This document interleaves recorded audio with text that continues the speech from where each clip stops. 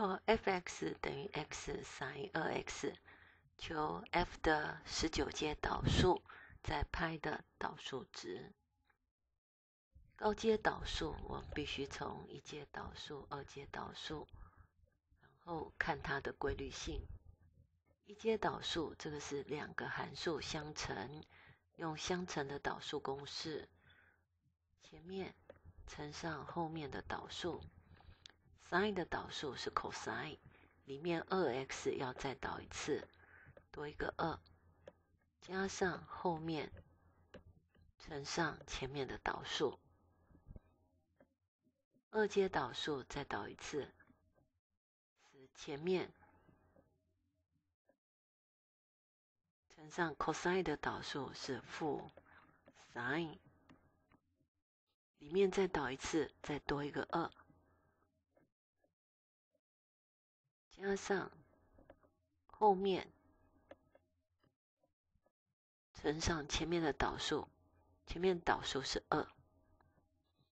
sin 的导数是两倍的 cos 二 x，所以这里会有一个两倍的 cos 二 x，这一项的导数也是两倍的 cos 二 x，所以合起来这里会变成四倍的 cos 二 x。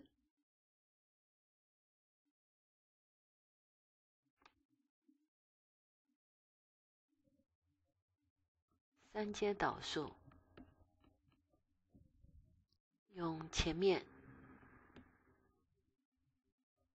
乘上 sin 的导数是 cos，再多一个二，原来二的平方了，再多一个二，所以变成二的三次方，加上后面是 sin x，sin 二 x，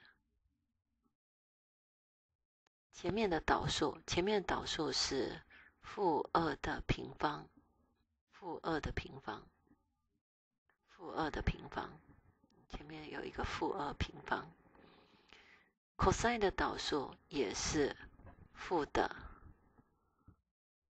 负的 sin 二 x，那么又要一个二，所以这里四，这里是二的平方，再多一个二，所以是二的三次方。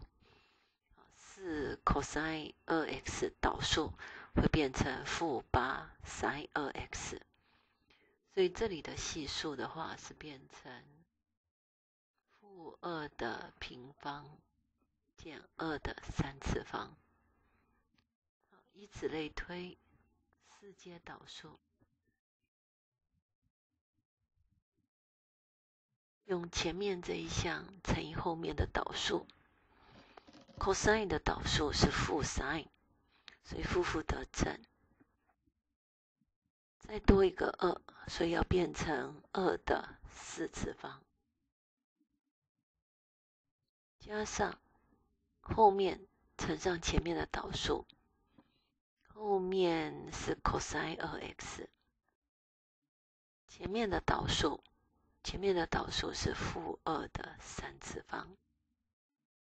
那后面这一项的话呢，sin 的导数也是 cos 二 x，但是呢，前面的系数还要再乘以二，全部再多一个二，所以这是减二的三次方，再减二的四次方，所以这个系数的部分呢，是一直在变动，系数的部分一直在变动。那我们要找十九阶导数，十九阶导数，我们看它的变动的话呢，这个 sin 变 cos，然后负 sin 负 cos 又变到 sin，所以它会有四个一个循环的这种形式哈，只是这个系数部分一直在变动，所以十九阶导数，十九除以四余三。它的导数形式呢，会比照三阶导数的形式。三阶导数的形式的话，所以它应该是负的 x cosine 二 x 这种形式，然后加上这里有一个系数 sin 的二 x。那前面这里的话呢，二的哈，这里是一次方，一阶导数是一次方，二阶导数二次方，三阶导数三次方，四阶导数四次方，所以十九阶导数的话呢，应该是十九次方。所以十九阶导数，我们用派带进去的话，这个是负二的十九次方乘以派乘以 cosine 的。二派，这里再有一个系数 sin 的二派，sin 二派是零，好，所以这一项可以不用看看它，所以这个呢就会等于负二的十九次方乘以派。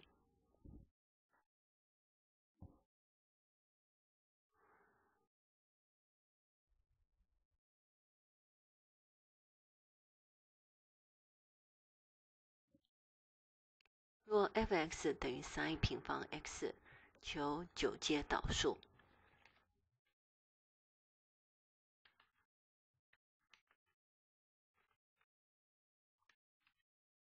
那么高阶导数，我们就从一阶、二阶，然后看它的规律性。一阶导数，这个合成函数 u 平方导数二拿下来。次方减一，然后呢，里面这一项要再导一次，所以是再乘一个 cosine x，这个是一阶导数。那这个利用三角函数里面的倍角公式，二 sin cosine 可以写成 sin 的二 x。二阶导数，sin 二 x 导数，sin 的导数是 cosine。里面再导一次，多一个二。三阶导数，cosine 的导数是负 sin，里面再导一次，多一个二，所以是二的平方。四阶导数，sin 的导数是 cosine，里面再导一次，所以是二的三次方。五阶导数，哈，那么我们会发现呢，它的形式就会是 sin、cosine、负 sin、负 cosine 这样在变动。所以用这样，我们就可以看出九阶导函数应该是比照，我们把它除以四余一，比照一阶导数的形式，会是 sin 二 x 的形式。那么看它的系数，哈，这里是二的一次方，这里是二的零次方，二的一次方，负二的二次方，负二的三次方，所以四阶导数是三次方，九阶导数的话就应该要有一个二的八次方，所以我们求九阶导数，十二分之派带进去，这个就要等于二的八次方。乘以 sin 的六分之派，sin 的六分之派，这个是等于二分之一，所以这个导数的结果，我们是等于二的七次方，也就是等于一百二十八。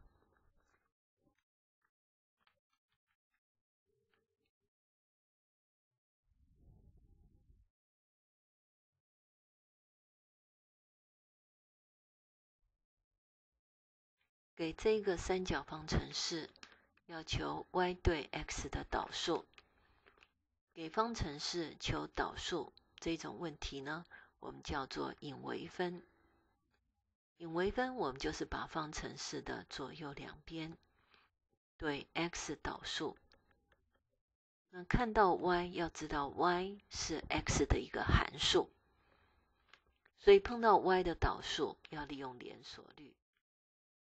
左边的导数，这里是两个都跟 x 相关的函数相乘，用相乘的导数公式，前面乘上后面的导数，tangent 的导数是 second 平方，里面 y 是 x 函数，所以 y 对 x 要再导一次，前面乘上后面的导数，加上后面这一项乘上前面的导数。Y 对 x 的导数就是 dy dx，一的导数是零，所以我们得到这个关系式。这个关系式我们整理有 dy dx 的放在一边，没有 dy dx 的放在一边。有 dy dx 的包含了 x second 平方 y 减一，没有 dy dx 移到右边就是等于负的 tangent y，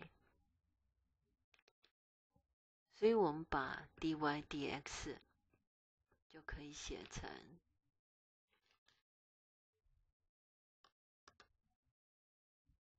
负的 tangent y。除以 x second 平方 y 减一，那这个就是利用引微分求出 dy dx。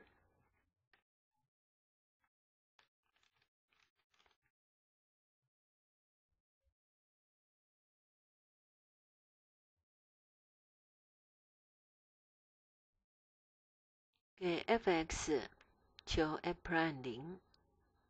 那么要求导函数，我们就利用基本的导数公式。碰到相乘的函数，用相乘的导数公式，用前面这个函数乘上后面的导数。cosine 的导数是负 sin，圈入里面再导一次，多一个二，加上后面这个函数乘上前面的导数。所以第一项导函数有前这两项，tangent 的导数呢是 second 平方，圈入里面再导一次，所以三乘上 second 平方。A p r i n 零用零带进去，这个是零，这个是零，这个是三，所以 f prime 零等于三。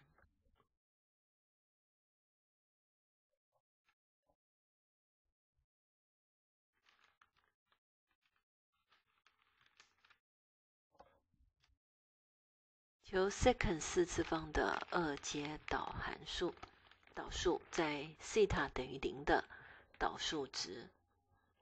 求二阶导数，我们先求一阶导数，second 三西塔导数。second 的导数公式，second 的导数是 second 乘上 tangent。圈入啊，所以呢，要在乘上三。啊，这个是基本的导数公式。那如果是 second 的四次方，四次方的导数就是再多做一次合成了哈。它的导数的话呢，就是四拿下来，次方减一。然后 second 的话呢，再导一次，second 再导一次，就是上面的这个导数结果再乘上去。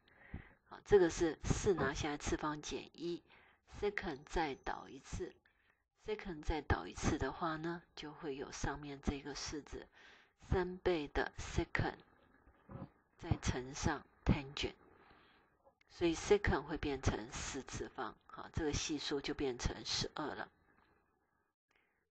好，所以一阶导数算出来了以后，我们再导一次就是二阶导数。二阶导数对 second 四次方三西塔再导一次，这个十二拿出去。好，那这个呢是两项相乘，两项相乘的导数公式，前面照写，后面的导数，tangent 的导数。second 平方圈入里面再导一次，要加上后面后面是 tangent 三西塔乘上前面的导数，四次方的导数四拿下来，次方减一，然后呢里面要再导一次，second 要再导一次。second 再导一次的话，就是上面这个式子，所以再乘上三，再一个 second，再一个 tangent，再一个 tangent。好，我们把它写在这里。好，再一个三 second tangent，所以合起来的话呢，这个是系数是十二。好，second 合起来是四次方。这里呢，tangent 平方。二阶导数，我们是要算西塔等于零的导数值，所以我们西塔等于零带进去，这个就是等于十二乘上 second 零是等于一，所以这里是三，tangent 零是等于零，所以这里是零，所以我们把它乘起来的话呢，这个是等于三十六。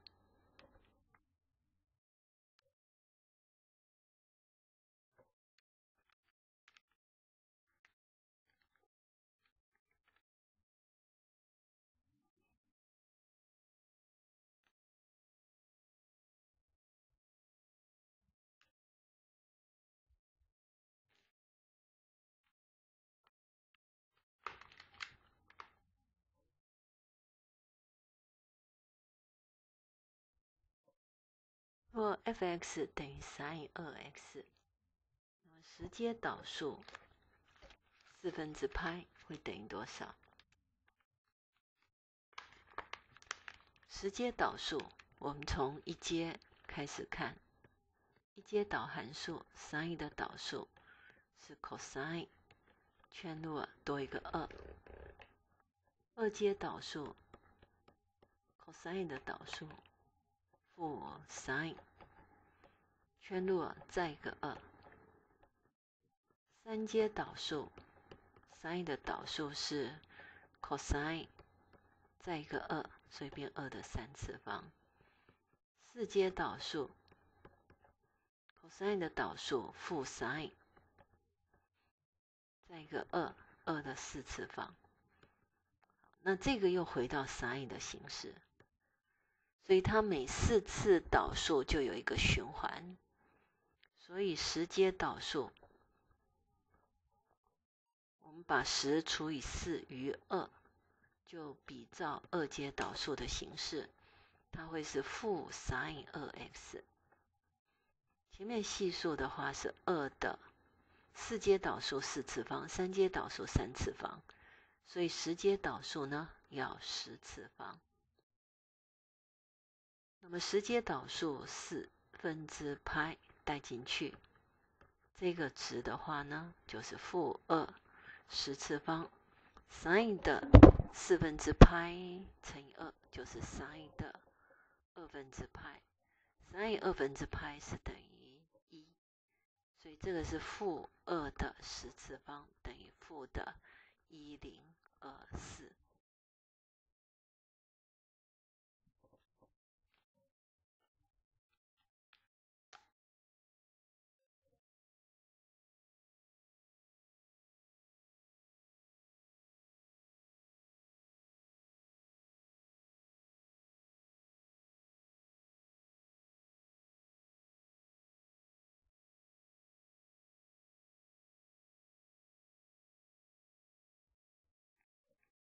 若 f(x) 等于二 sin x cos x，那么三十阶导函数会等于多少？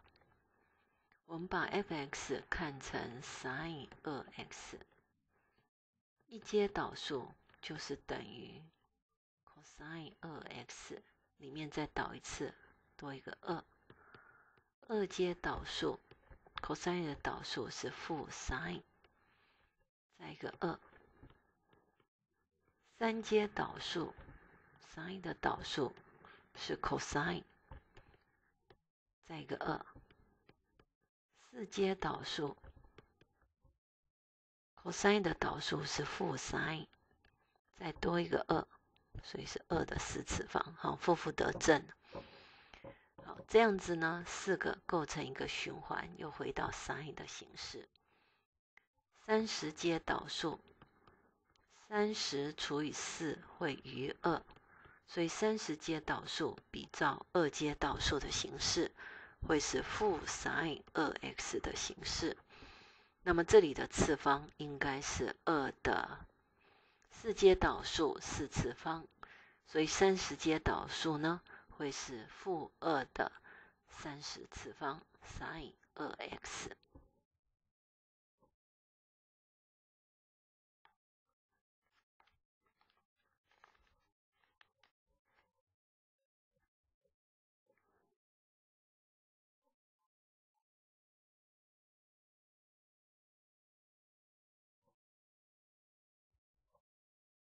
给 f(x) 求反函数的导数，反函数的导数会等于原函数的导数分之一。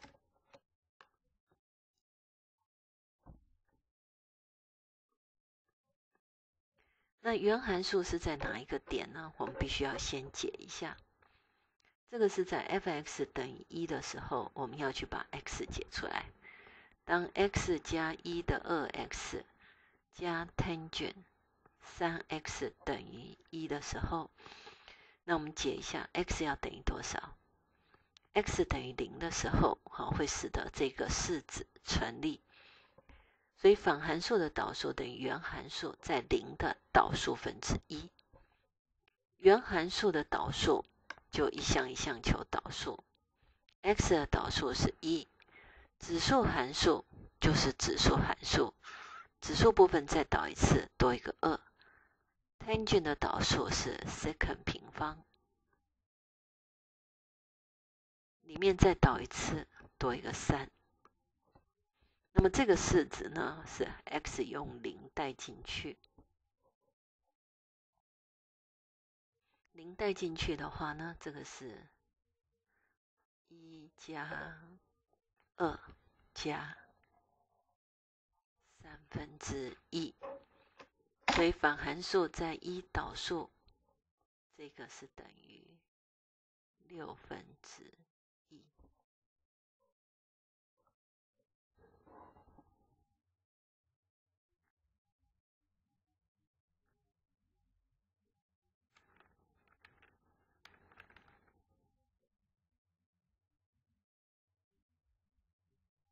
给 f(x) 求 f 二阶导数的反导数。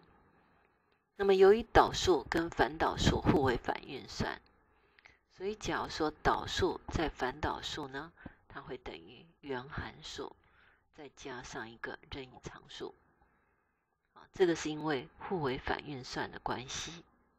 那么二阶导数在反导数的话呢，这个就会有等于一阶导函数。加 c 的这种式形式，那一阶导数的导数叫做二阶导数，那导数跟反导数反运算抵消，所以会变成一阶导数。所以这个题目的话呢，就是算 f 的一阶导函数就可以了，啊，不需要算二阶导数再反导数。那么导函数的话呢，这个用两项相除的导数公式，啊，因为这个是一个分式，用分母的平方，分母乘上分子的导数，一加 cosine 的导数，cosine 的导数是等于负 sin，减掉分子乘上分母的导数。Cosine 的导数是等于负 sin，负负得正，所以分母这个是等于 sin。把这个式子整理一下，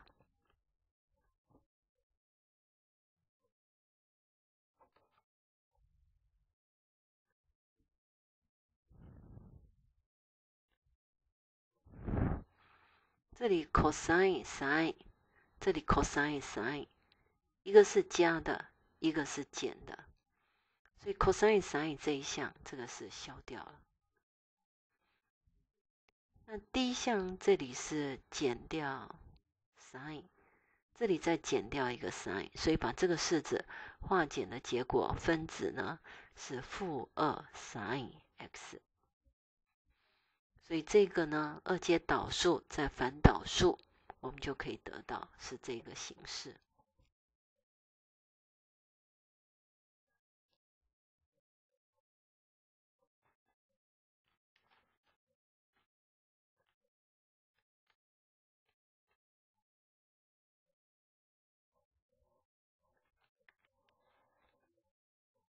F(x) 等于 x 乘以 sin 二 x，求四阶导数零的导数值。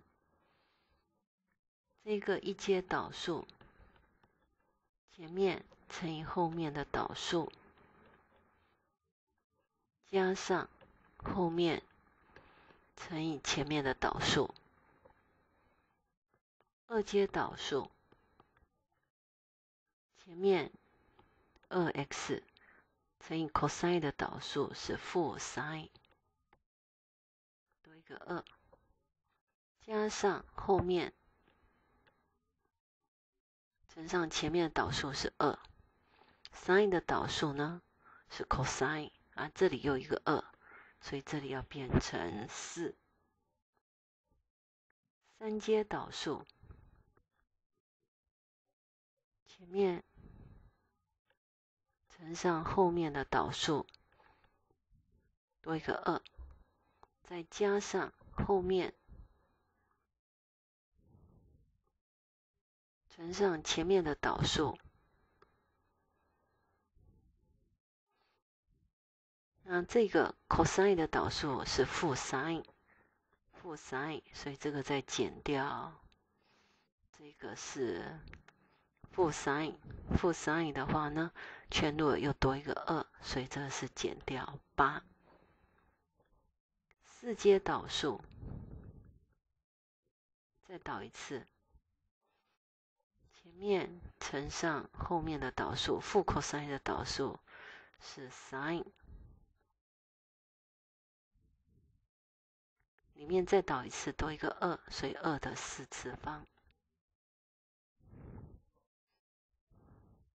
加上后面乘上前面的导数，前面的导数是负二三次方，sin 的导数也是 cosine，那再乘一个二，所以系数的部分要变成负二三次方减再乘一个二，这是十六。所以四阶导函数算出来了以后。我们用零带进去，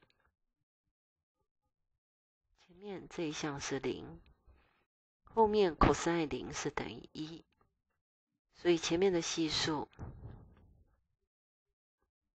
乘以 cos 零是一，好，所以这个算一下的话，这个是负八减八减十六等于负的三十二。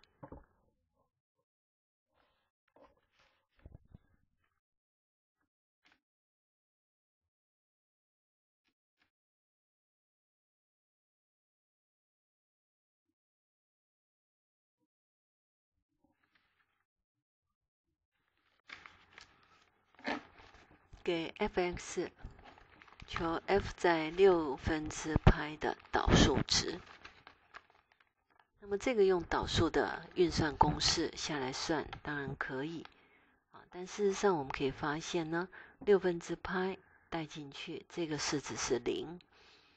所以这个的话呢，用导数的定义就可以很快的得到这个结果。导数的定义是 x 趋近于六分之派。F(x) 减掉 f 六分之派除以 x 减六分之派，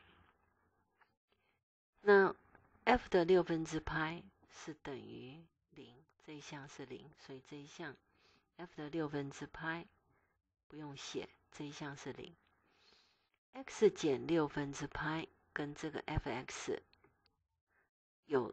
X 减六分之派的因式可以把它约掉，约掉以后呢，我们这边的分式啊，这个约掉，约掉，所以剩下呢，sin 三次方 x 这里约掉了，所以 sin 的四次方 x 加 cos 的四次方 x，我们变成对这个式子取极限，就可以得到导数值。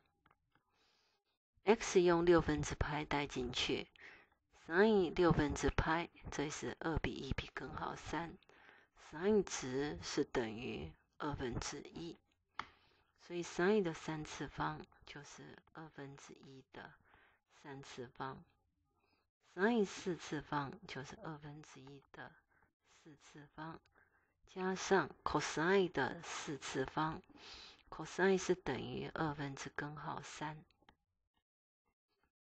次方。好，这个是已经是一个连续函数的极限，直接把六分之派带进去，这个就是等于八分之一，十六分之一加上十六分之九。所以这个是等于二分之十，就是等于五。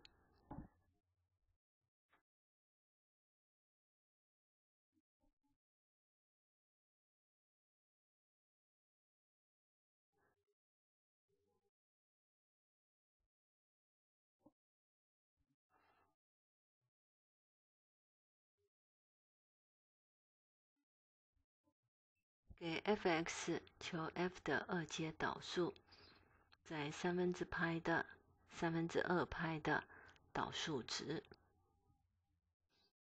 cos 平方的导数看成合成函数 u 平方，u 平方的导数二拿下来，次方减一，cos 再导一次，cos 的导数是等于负 sin。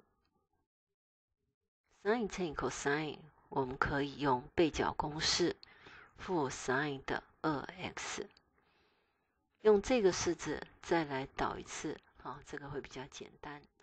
sin 的导数是等于 cos，圈入再多乘一个二，所以二阶导数三分之二派的导数值就是等于负二乘上 cos 的三分之四派。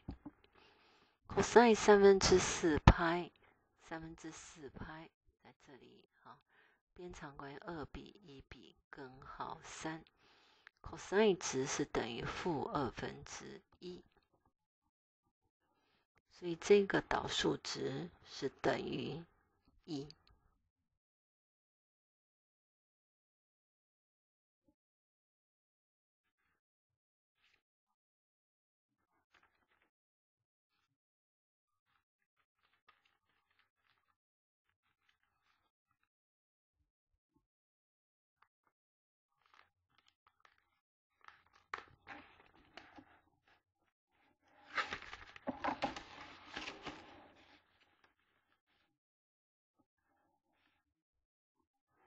给 x、y 的方程式，求 y 对 x 的导数。那么给方程式求导数，这个叫做引微分。引微分，我们就把这个方程式的两边对 x 导数，看到 y 要想成是 x 的函数，所以对于这个式子呢，好看成两个都跟 x 相关的式子。要求导数相乘，求导数，导数公式，前面乘以后面的导数，一的导数是零，加上后面乘上前面的导数，所以左边的导函数呢就会有两项，因为相乘的导数会有两项，右边的导数 sin 的导数是 cosine，里面照写。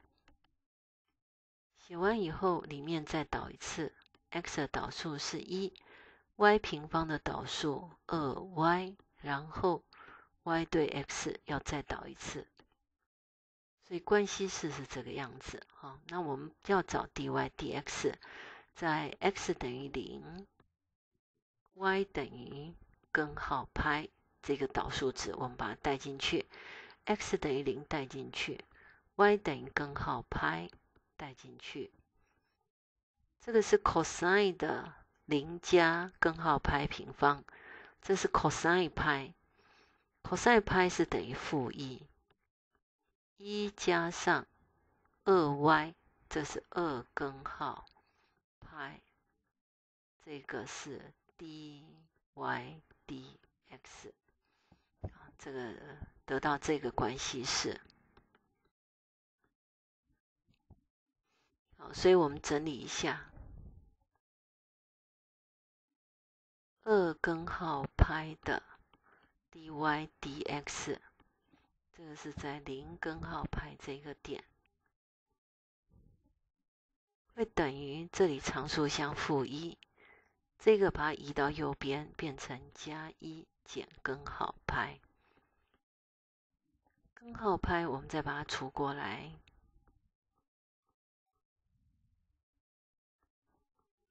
或者说我们把根号拍两边约掉。这里根号拍，根号拍约掉，这个二把它除过来，就得到这个导数值等于负二分之一。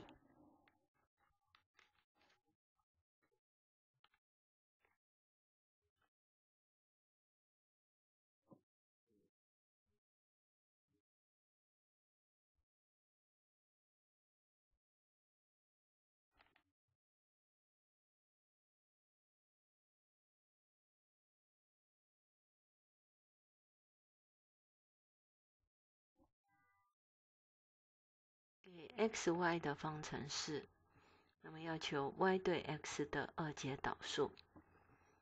给方程式求导数，这是因微分。那么要求二阶导数，我们必须先把一阶导数求出来。一阶导数，我们就把方程式两边对 x 导数，cotangent 的导数。负的 cosecant 平方，里面照写，写完以后里面再导一次。y 的导数要写成 dy dx，减掉 x 的导数是一，右边 x 的导数是一。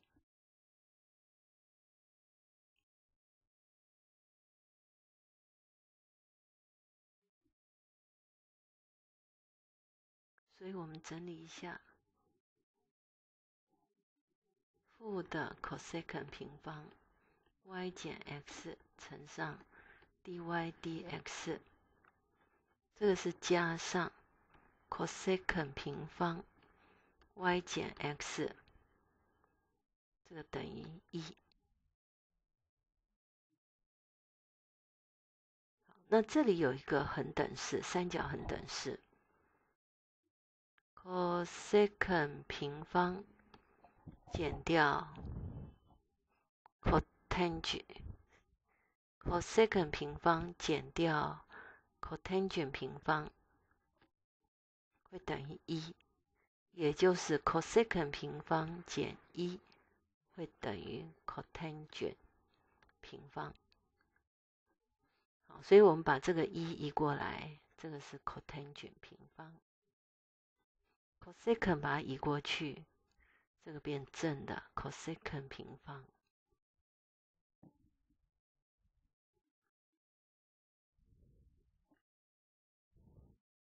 两边好，这个是 sin 分之 cosine 叫 cotangent，sin 分之一叫 cosecant。那我们两边呢，都把它乘上 sin 的平方，化简一下这个式子。我这里也把它乘一个 sin 的平方，sin 平方跟 cosec 平方换成是一，所以呢就剩下 dy dx。sin 乘上 sin 分之 cos，所以这个是剩下 cos 平方的 y 减 x。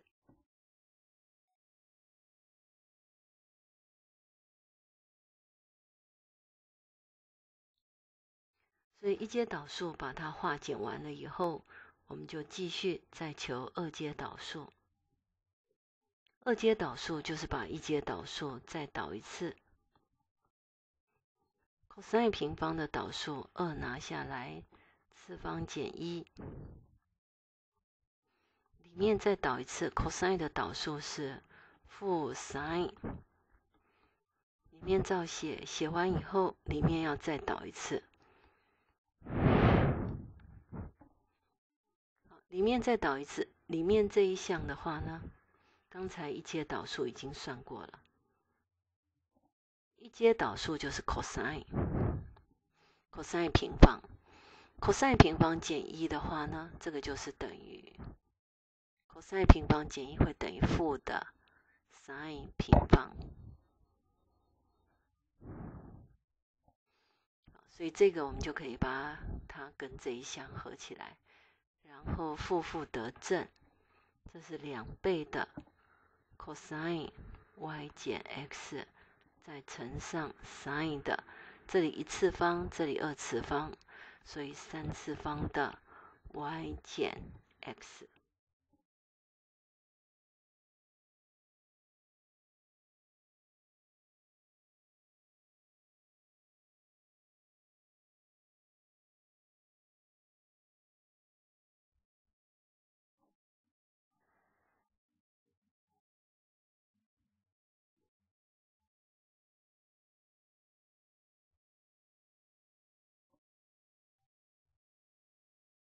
若这个极限等于负三，那么要求 a、b、c、d 的值。这个极限 x 趋近于零的时候，分母为零。分母为零，如果分子的极限不为零的话，那这种极限只有等于正无限大或负无限大两种情况。但现在的极限呢，会等于一个常数的话，表示这个。极限的形式必定是零分之零的形式，所以分子 x 用零代进去，它务必要等于零啊，这个是等于零加 a 加零加零加零，一定要等于零。所以我们首先知道 a 等于零，a 等于零的话，这个极限。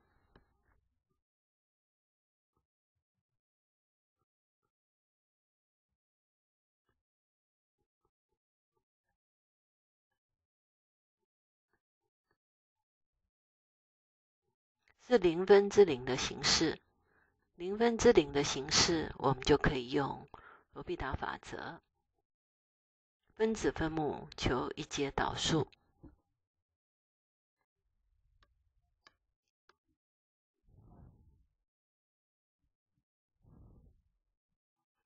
，sin 的导数是 cos。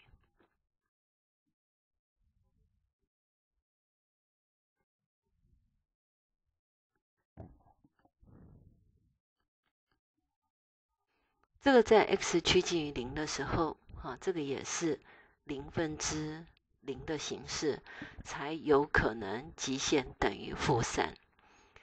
那么这个零分之零 x 等于零带到分子这个式子的话呢，三加 b 后面都是零，要等于零，所以第二个式子我们就知道 b 是等于负三。所以继续，这个又是零分之零的话，我们继续再用罗比达。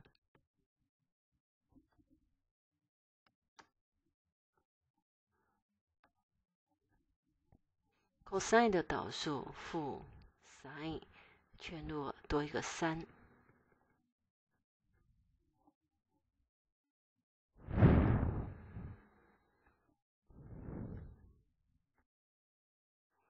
好，这个一定也还是要零分之零的形式，所以 x 等于零带到分子，零加二 c 加零要等于零，所以我们得到 c 是等于零。再利用罗必达法则，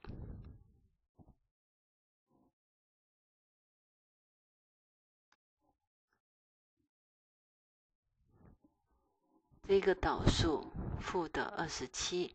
Cosine 三 x，这个极限要等于 x 用零代进去的话，六分之负二十七加六 d 要等于负三，也就是负二十七加六 d 要等于负十八。六 d 等于九，所以从这个式子我们得到 d 等于二分之三。所以我们一步一步呢，从极限零分之零的形式，我们把 a、b、c、d 全部都求出来了。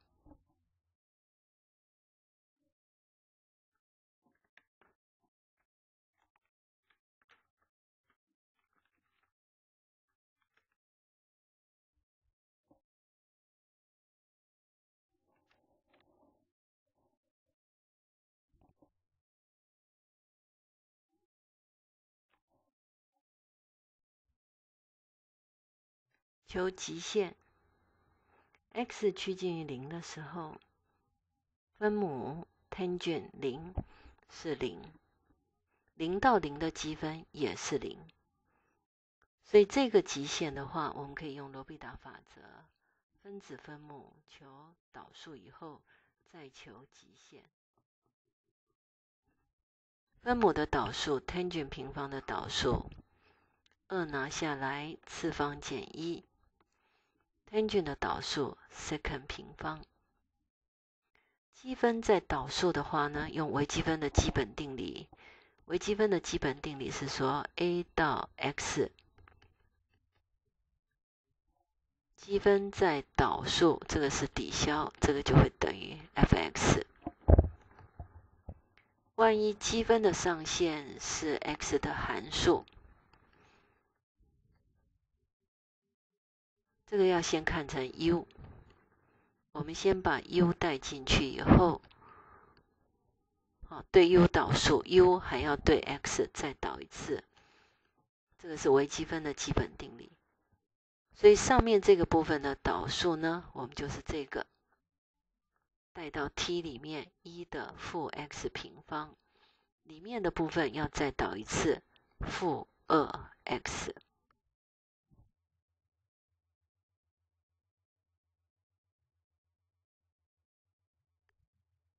那这个三角函数的话呢，用到 tangent secant，tangent secant 呢，我们把它改成 sin cosine，好，是我们比较熟悉的形式。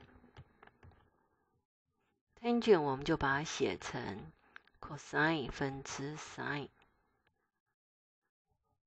sin，secant 我们就写成 cosine 分之一。所以这个式子把它化简一下，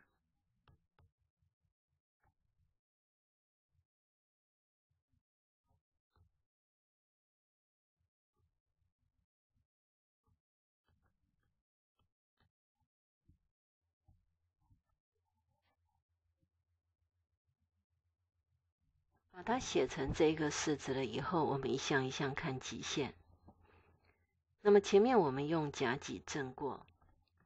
Limit 西塔趋近于零的时候，西塔分之 sin 西塔，这个会等于一。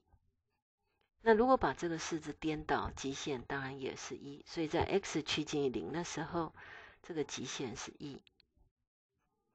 指数函数是连续函数，连续函数的话，零直接带进去，这一项极限就是等于函数值一的零次方就是等于一。cosine 也是连续函数。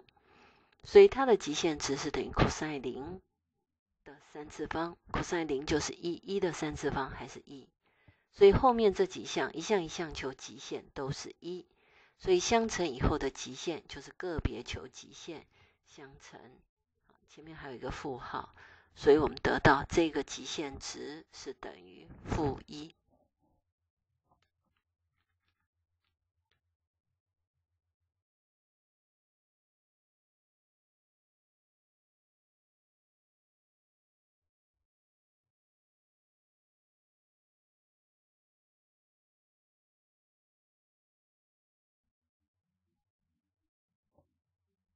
若 x 写成 t 的函数，y 也写成 t 的函数，那么这个我们叫做参数式。在给这个参数式的情况之下，我们要求 t 等于六分之派的时候，y 对 x 的二阶导数。那么要求二阶导数，我们必须从一阶导数开始算。一阶导数碰到参数式的时候，我们 y 跟 x 都要对 t 导数才会方便，所以在参数式的时候呢，我们把 y 对 t 导数除以 x 对 t 导数，会有这种结果。那么 y 对 t 的导数，这个就是三角函数的导数了哈。Y 对 t 的导数，一的导数是零，tangent 的导数，second 平方。x 对 t 的导数，second 的导数是 second 乘上 tangent。把它化简一下，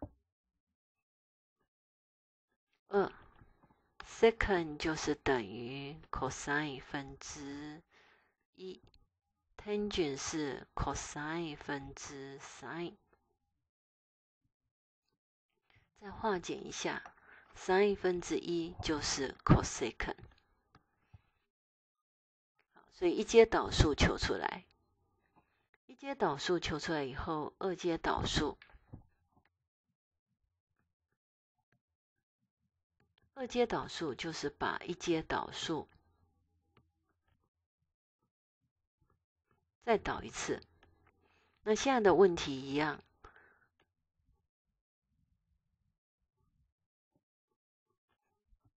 ，t 的函数对 x 导数啊，这个是有困难，所以我们一样呢，在分子的部分补一个 dt，分母的部分补一个 dt。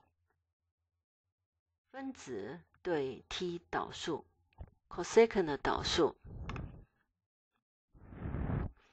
负的 cosecant cotangent，x 对 t 的导数刚才算过，x 对 t 的导数就 second 的导数会是等于 second 乘上 tangent。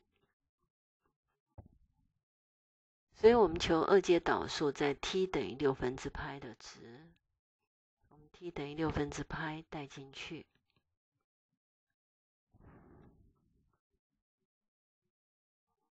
六分之派这个角度呢，它的边长关系二比一比根号三，所以我们一个一个把它带进去，cosecant，cosecant 这个是等于二。cotangent 是等于根号三，second 根号三分之二，tangent 根号三分之一，所以这个是等于三分之二负四根号三。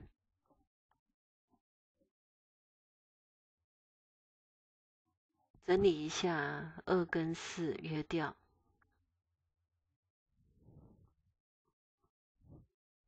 三颠倒相乘，所以我们得到这个导数是等于负六根号三。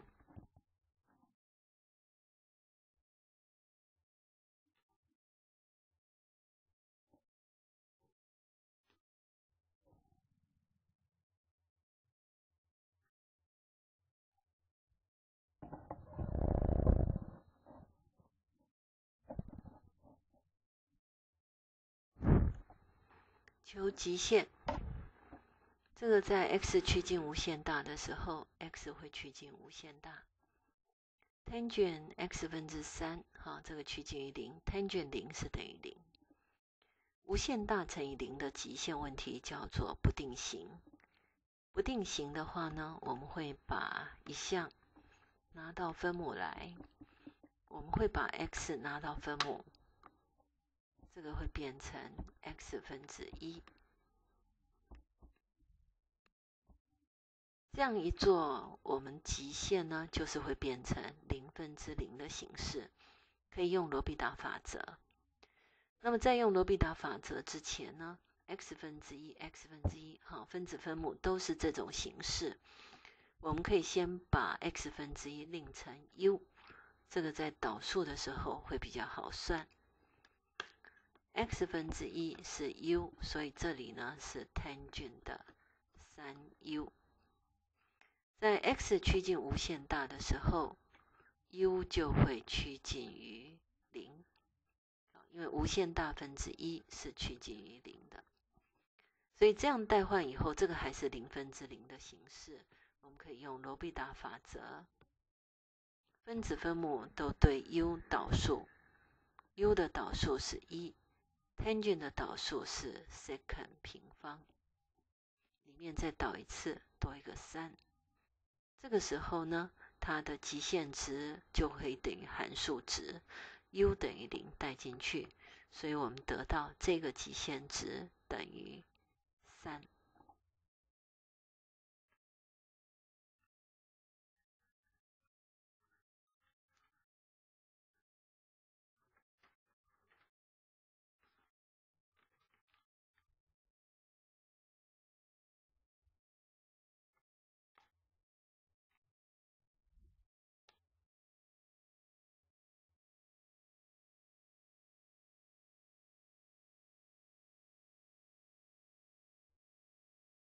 求极限值，在 x 趋近于零的时候，分母趋近于零。分子的话呢，积分上下限都是一，所以在一个点的积分，这个也是零，这个是零分之零的形式。零分之零求极限，就可以用罗必达法则，分子分母对 x 导数。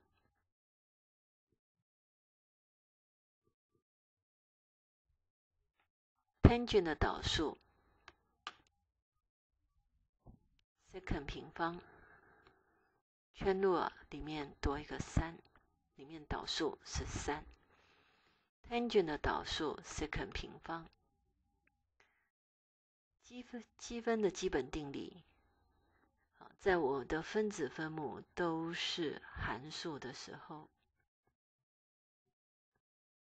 这个求导数。会变成，我们把 h 带进去，f 的 h(x) 上面导一次，再减掉下面这个带到 t，g(x)，然后呢，里面再导一次，会有这个结果。所以这个导数就是等于，我们先把 cos 三 x 带进来。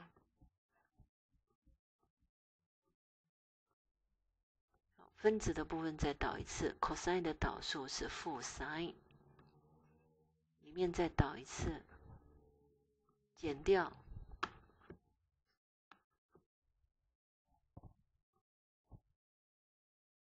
把一加 sin 二 x 带到 t 里面来，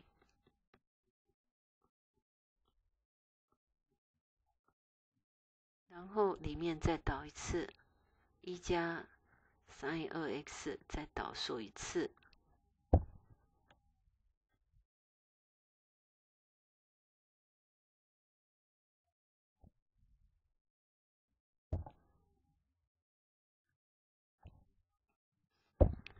一加 sin 二 x 导数，sin 的导数是 cos，里面再导一次，多一个二。好，这个时候用零带进去。这个的话呢，是等于三减一，零带进去，这是根号四乘以负三，这个是零，减掉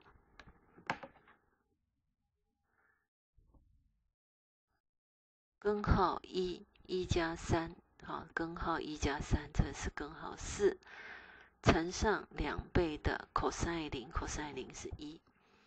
所以这个等于二分之前面这个是零，负二乘以二，这是负四，所以我们得到这个极限是等于负二。